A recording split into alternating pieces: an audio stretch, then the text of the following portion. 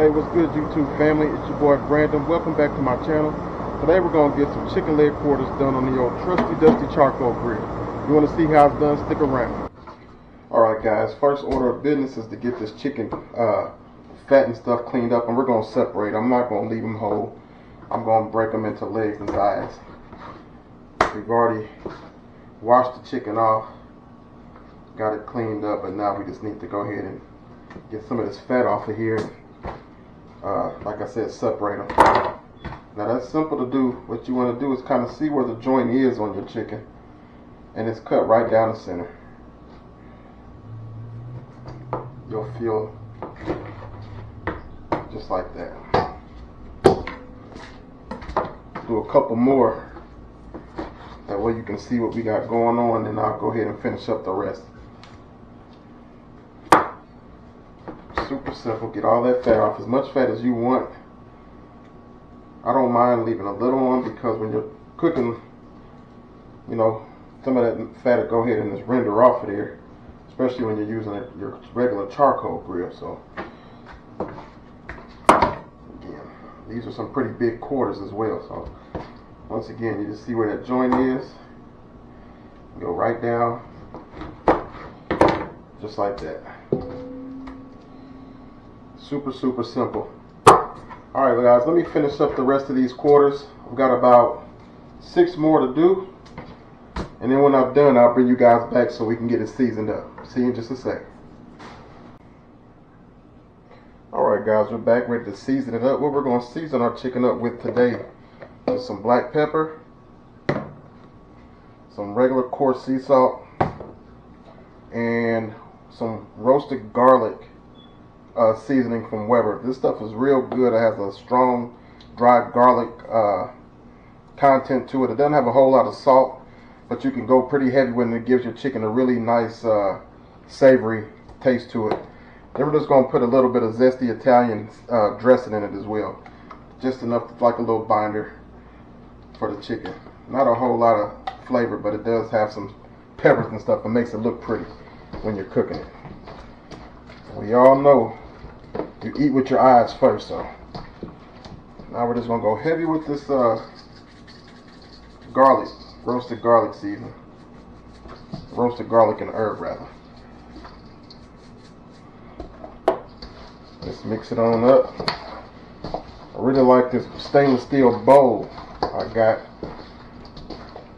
I wound up getting it for free actually from a buddy of mine, and this thing has come in super handy.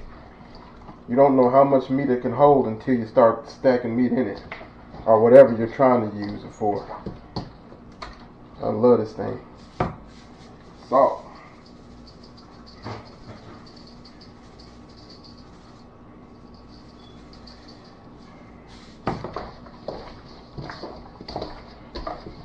you want to season it pretty liberally, not overdo it, but pretty liberally. You know, these thick chicken thighs and stuff, they can take a lot of seasoning, and you don't want them bland on the inside.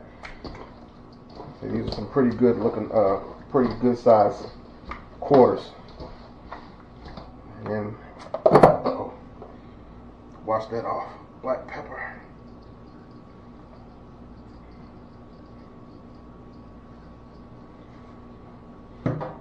Put that in the sink, make sure I bleach that off.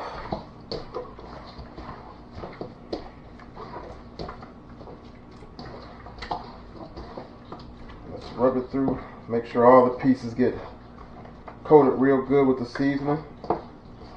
We're actually going to let this sit up for about 30 minutes or so while we go and get our grill together and get it lit up.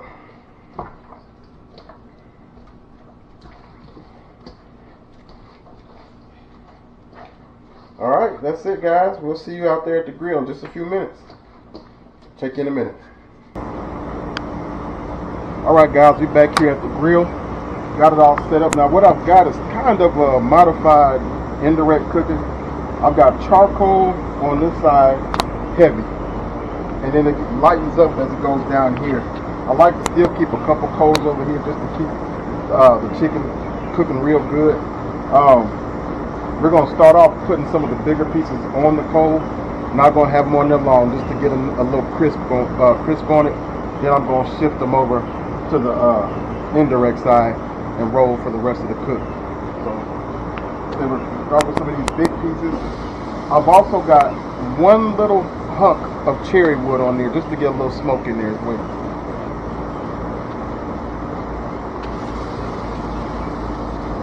We're going with the skin side up when we put them on.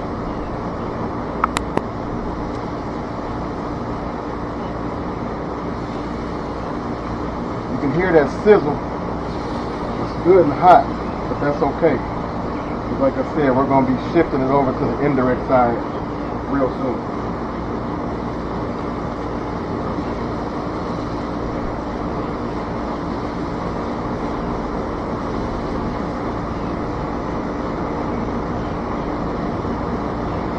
Alright guys, let me go ahead and finish putting the rest of this chicken on and I'll catch you out here in a little bit. Okay guys, we're back. It's been in roughly about 15 minutes or so. And we've done what we wanted to accomplish. Just get a little char and color, not even char, but color on the bottom of this chicken. Then we're going to move it to the indirect side. You can see, that's what we wanted. So now we're going to move and let it cook over here for a while. And then we'll flip flip it shortly. But I just want you guys to see what we were wanting to do there. Get a little color before we move it. See? Looks good. Alright guys, we'll check back in with you in a little bit. Alright family, we're back out here. Check on this chicken. And it is looking amazing. See, that's what happens. You can do that indirect cooking. You still get that good color.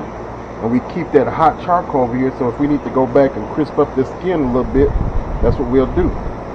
But look at that. It's been roughly 45 minutes to 50 minutes since we put the chicken on. We're not worried about temperature and all that kind of stuff. And as far as the uh, on the pit, we just barbecuing just like we did when we were younger. When we saw our father, our grandparents barbecuing, they weren't out here with probes and all kind of stuff. They just lit up the barbecue and and cooked. And that's what we're doing today. Just backyard barbecuing. Just like we used to It was good then, it's gonna be good now. Moving it, flipping it a little bit. Yep, doing good, looking good, guys. Just want you guys to get a good look at what we got going on. Had a lone uh, porter up here, it's just about ready. I've had it almost directly over the fire, but I had it on this rack, so. But anyhow, that's that. I'll check back with y'all in a little bit. Alright guys, we're back. Time to pull this chicken off. I just want you to see I moved it to the upper rack back over the coals. That way we can just crisp up that skin a little bit. Let you see how it's looking. Look at that. Beautiful. Look how juicy it is. That's what you want when you make that chicken, that backyard barbecue, man I think we've achieved what we wanted to achieve. Sometimes it's good to go back to the basics and take the technology out in this barbecue. Look at that. Perfect. All right, y'all. Pull it on off, take it in the house, and let it rest up a little bit.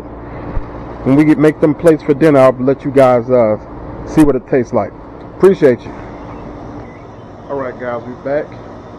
Here's a piece of that beautiful chicken we just got done making. Go ahead and give it a bite.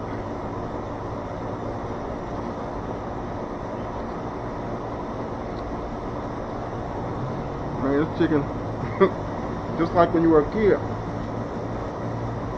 Delicious. Seasoned right. Got a little bit of smoke flavor because we did put, the, uh, put that little piece of cherry in there. I'm telling you, man, sometimes it's good to put the technology down, go back to basics, and just do some regular old backyard barbecuing. If you guys enjoyed this video, make sure you like, comment, subscribe. I appreciate you guys sticking with me. Love you. God bless you. Until the next time.